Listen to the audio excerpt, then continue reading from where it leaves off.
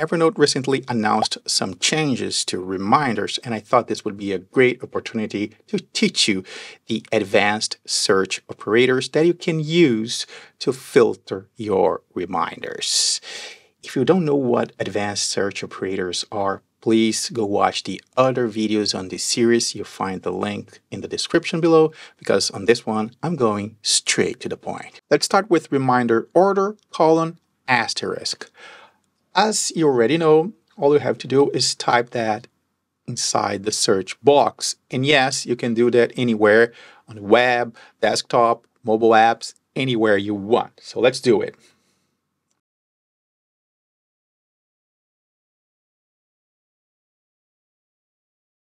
This will show you all the reminders you have in Evernote.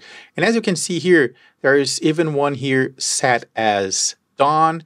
There is this one here that is in the timeline notebook, this other one also in the timeline, this one is in the creator notebook. So it doesn't matter if it is a reminder with due date, if it is uh, dawn, and where it is in, in your Evernote. It will show you all the reminders. And of course, just like with the other operators, we can add here, for example, notebook, creator, and this will show me all the reminders that I have in the creator notebook. So here they are. To make things more visible, I title some notes with what the reminder is. In this case, for example, it is a reminder with no due date, and this one is a reminder for this date. Okay, now let me show you how to use the other operators. And by the way, if you are a supporter on Patreon or YouTube, there's a companion note. You'll find the links in the description below, just like what happened uh, with the other uh, videos uh, from this series. There is a note with all the details and a lot of examples. Next is the reminder time colon. This is the one that will help you uh, filter uh, the upcoming uh, reminders, the upcoming due dates. Okay, let's use the search box again. Reminder time colon. And here we'll use the word day. Day in this context here means today. If you want tomorrow, it is day plus one, the day after tomorrow, day plus two, and so on. However, this is from today. So it is today, tomorrow, and everything that comes after today and after today. If you use day plus one, it will be tomorrow and everything that comes after tomorrow. And don't worry, there are ways to limit this. We'll get there. Okay, the first one here is a reminder set as done, but it is for today, and that's why it is in the list, okay? Now let's change this to day plus one. Now we have here the reminders that are set for tomorrow and everything that comes after tomorrow. As you can see here, there is uh, the 24th, that is tomorrow, and we have uh, uh, a reminder for August. Now let's take a look at the last operator, reminder, date, time, and use it with the others to create a specific interval of time to filter your reminders. Here we are again at the reminder order colon asterisk to see all our reminders and we'll work with this one here that has uh, a, a completed due date. So if I change this to reminder done time day, it will show me all the reminders that were set as dawn from today on. Okay, and of course, we'll see this one. The day word here refers to the day you set that reminder as dawn, okay? Let's, let's use this one here that has a due date for tomorrow. If I mark it as dawn and try that again, reminder, done, time, day,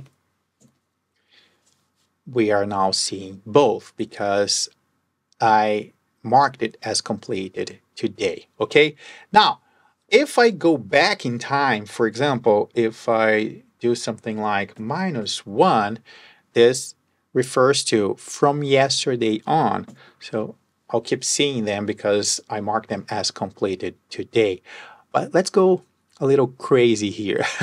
let's create an interval uh, uh, between the day before yesterday and yesterday. To do that, we'll use the minus uh, symbol in front of the reminder, in front of the operator. Again, if you haven't watched the other videos, go watch them. So what I want is everything from two days ago, all reminders marked as complete from two days ago, minus, I'm going to copy this to make my life easier, paste, minus everything from one day ago. So we're creating an interval here from two days ago until yesterday.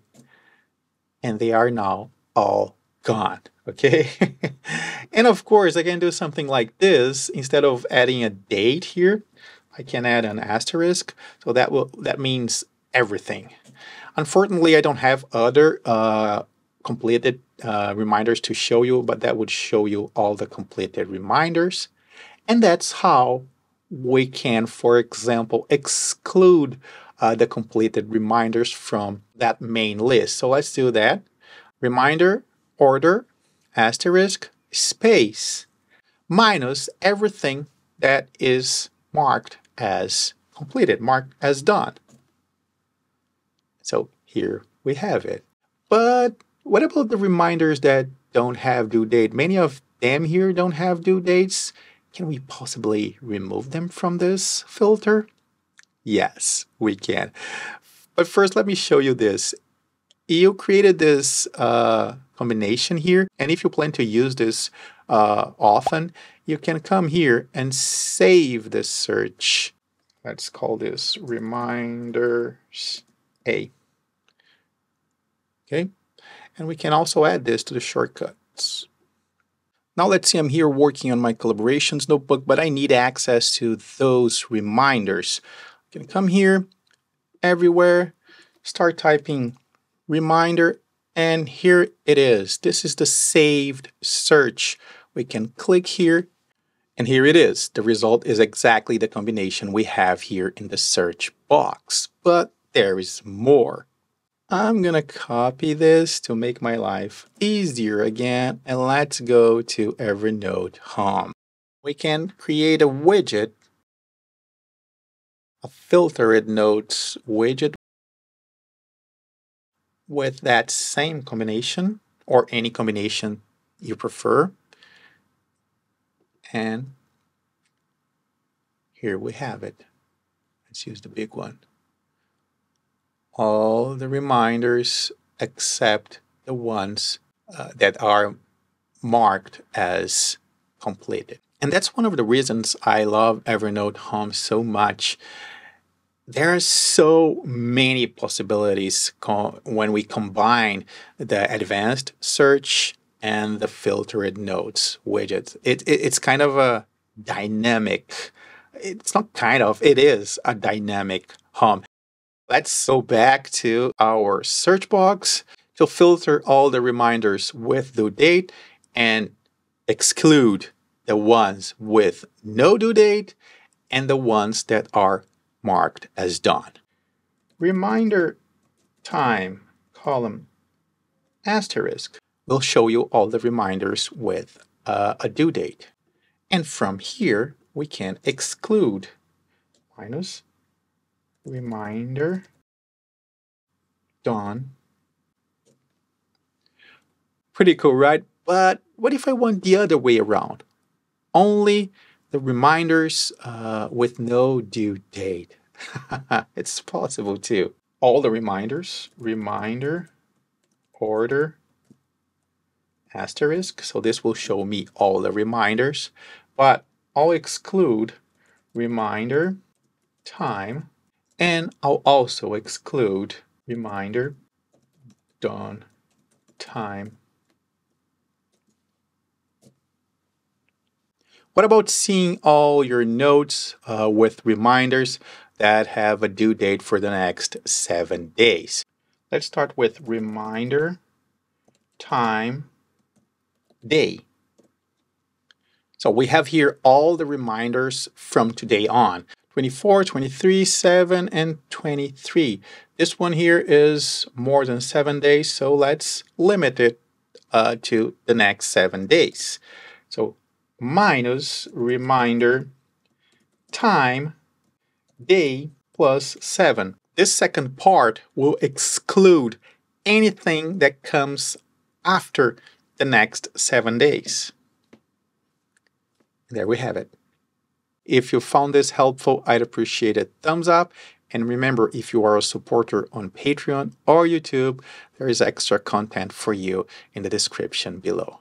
Thanks for watching. See you soon.